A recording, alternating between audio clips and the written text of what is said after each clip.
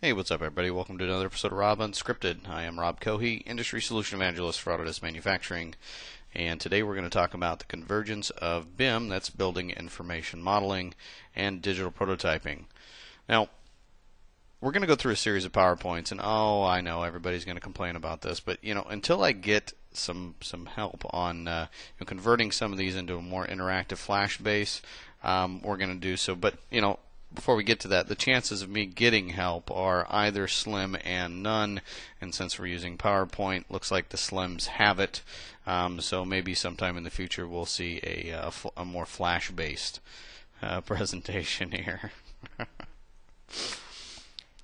but in all reality, let's get right into it. Building information modeling. What is building information modeling from a manufacturing point of view? And this is this whole presentation is going to be geared more toward uh, the manufacturer. And understanding BIM um, from uh, uh, from an aspect of I have people, I have customers asking me for BIM content, and uh, sure, a I'd sure like to know what BIM is, and secondly, how do I achieve that?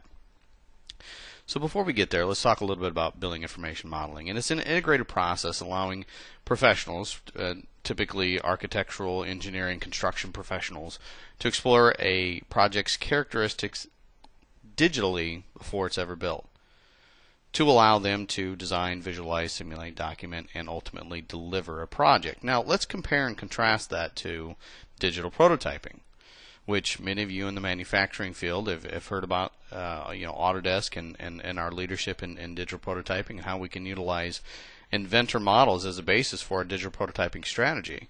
And digital prototyping, of course, creates a single model. Hey, that sounds familiar maybe on the previous screen.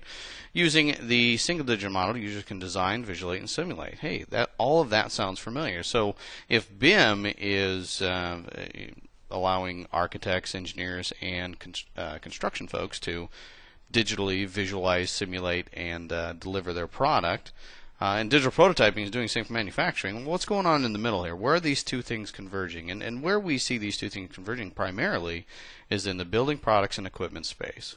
So design, conceptualize, analyze, simulate, visualize uh, between the building design space and the building product and equipment space. Where that's converging is right here in this industry. So as I see it, we have four key profiles, and we have folks that are happy to be 2D. Now, if you're if you if you're us, utilizing 2D drafting as your means of communication to drive your entire production facility, maybe you're not drafting board, maybe you're more along the lines of something like AutoCAD LT, we have a, a solution for you to get to BIM. But secondly, maybe use some non-Autodesk products for manufacturing and production. Maybe using SolidWorks, uh, Pro Engineer, maybe CATIA, Solid Edge is uh, even playing in the space as well. And how do I take some of that data that I have from engineering and utilize some of the tools within the Autodesk platform to create BIM ready uh, uh, components. And what's the difference between just providing them a SAT file versus providing them a, a, a native BIM component? And thirdly, um, my favorite customers, of course, are those that are using Autodesk Inventor as the basis for their digital prototype. And, and if you take a look at these first three profiles, each one of those uh, are going to determine your path to BIM. So I have the technology available to me. Now, how do I get my customers the BIM ready content they're asking for based upon one of these three profiles? And last but not least, certainly, is uh, is Autodesk Seek, and and and we're not going to go too deep in Autodesk Seek into this particular presentation, um, but uh, certainly something to look at in, in terms of I have an entire product line. Um, I have an entire marketing initiative that I want to potentially find new potential clients um, by hosting my entire product line up to say Autodesk Seek so that somebody can download product specification and design information, whether that's Revit families or 2D DWGs or DXF, directly from a single source, and that source being Autodesk Seek.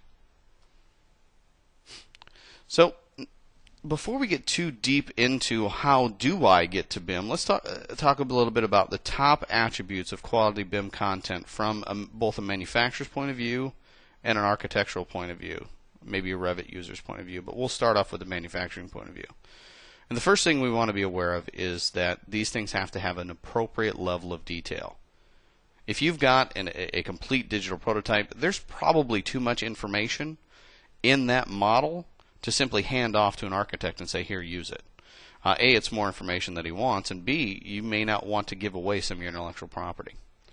Uh, secondly, it has to have a small memory footprint. If your file being placed into a uh, into a BIM model um, comprises one third of the overall memory footprint of that project, they might not want to use your file. And then make sure that the model's in the proper orientation. Sometimes uh, when exchanging files between various 3D applications, when you bring that model in, it's actually laying on its side, and some people don't like that. Um, most people, I will go ahead and, and say all people don't like that.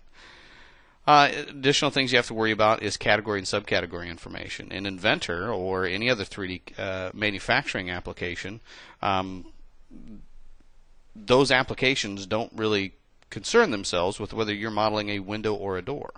However, when you bring that information into a BIM model, into a Revit uh, project file, Revit does care if it's a door or a window, and it does care um, then when you go to extract, uh, say, material takeoffs or scheduling information directly from the model, it, it definitely is important as to make sure that your product is categorized correctly.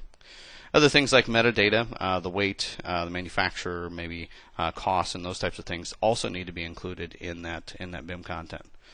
Connection points and uh, uh, connection placement are also extremely important when you when your product needs to integrate in with the uh, with the uh, system and the infrastructure of the building.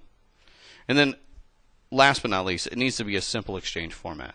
I want to be able, from a manufacturing point of view, to, to, create one file that can be consumed by Revit Architecture, Revit Structure, Revit MEP, as well as the AutoCAD based products, AutoCAD Architecture and AutoCAD MEP.